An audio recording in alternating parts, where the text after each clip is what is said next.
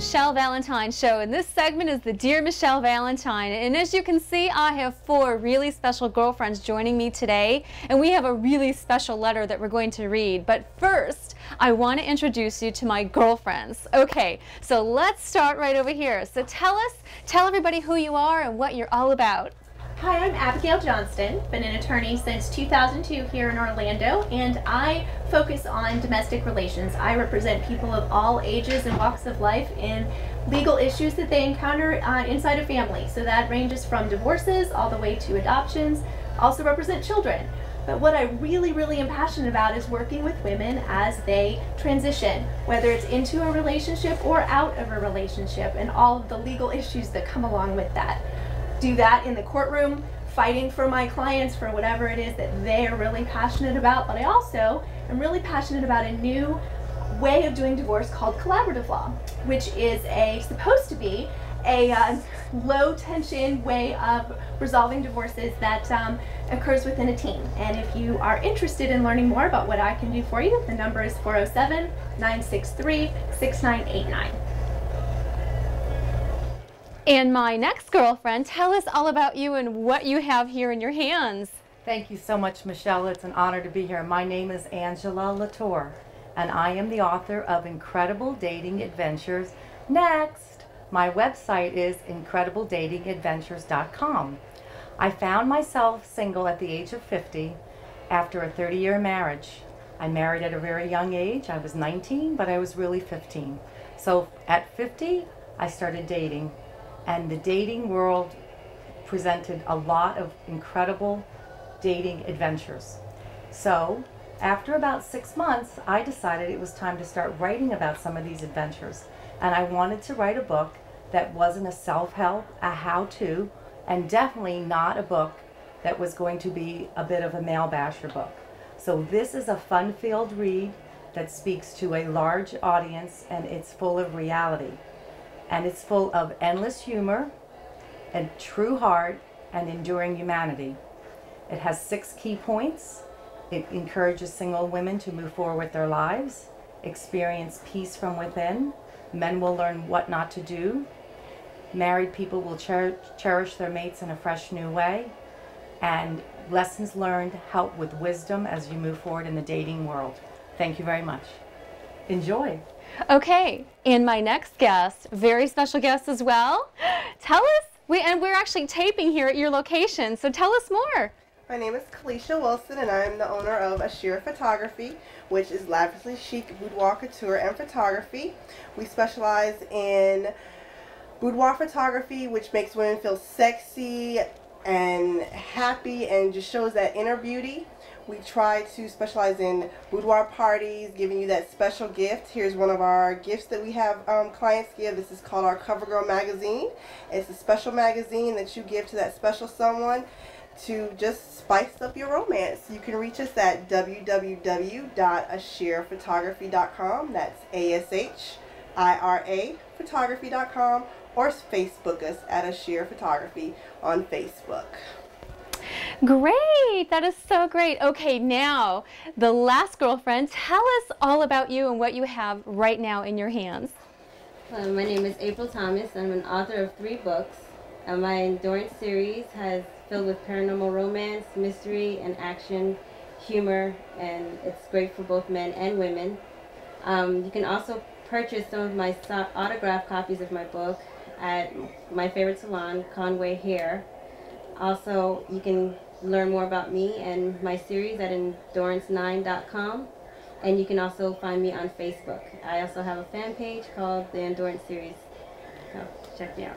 Yay! Oh my gosh, I am so excited to have so many girlfriends here today. Okay, so now that we kind of have a little background and everybody here, all these intelligent, talented ladies, now let's see if you can help us here. We have someone who wrote me a letter, and let's see if we can help them. Are you ready? Okay. All right, so here is the Dear Michelle Valentine letter. Dear Michelle Valentine, the other night I was out with my friends at a bar when I ran into an old flame of mine. We were nothing serious back in the day, but he was looking fantastic. We got to talking and he gave me his number. I tried to call him the next day to go to dinner, but he didn't answer, so I left him a message. It's been two days since I left the message on his answering machine. Should I take this as a hint and move on? Should I try again? Help! Writes sincerely Catherine from New York, New York. So, ladies, all right, so here's the gal that she had an old flame, met him in a bar, he was looking great. Have you ever, you know, come into that situation? Meet somebody and you're like, "Oh, a couple of you ladies are married maybe, or right? And you see he's fantastic looking. So, so what, what do you think he's, oh, you're the, the attorney here. So, so maybe on a more personal note, or maybe even a legal, a legal standpoint, what do you think she should have done or do? Oh, well, I can't think of any legal issues here, although there, there might be. But um, I, I would certainly say that the, the time of the girl has to wait for the guy to call is certainly Yes. over. Um, however, there is an element of self-respect. You need to have a little bit of self-respect Yes, right. And, um, if he hasn't called back after a couple of days, I say wait. Really, really, okay. I would also say Uh-huh. move on. Uh huh. Move on. Move on. Mm-hmm. Mm-hmm. Now I understand no one here is addressing the issue to begin with. First of all, first of all, she got his number. What I is was that? address that. What is that? He should have gotten his her number, right? Yes. If he really if he really liked her, he would have gotten her number and he should have pursued her and and I'm more traditional and and right. I do yeah. too. So I think it's more romantic when a guy chases you. So. Sure, sure. And today's age, they try women try to take charge, but I think they should still wait because that means he's really interested if he wants your number. right. I think men will always be hunters. Right. And we need to be prey a bit. So I, I really think that um, he should have asked for her number, Uh-huh. and too much time has gone by. So my answer in one word is next. so he's definitely next. Yes. Okay, so let's so let's try to help this gal here, Catherine. So she already she already she didn't listen to anything of what we're saying of like he should have gotten her number. So that's too far along. But she did leave him a message. So unanimously, is it that she should not call him or just just say next, right? I vote not and next. Uh huh. I'd agree. Not Okay. next, move on. Move on. Audience, what do you think? Why don't you write to us and tell us what do you think she should do? Especially guys out there, what uh, what do you think should happen? Do you think you should get the girl's number? Uh, do you like it when she gets your number? And how long uh, how long should she wait till she hears from you?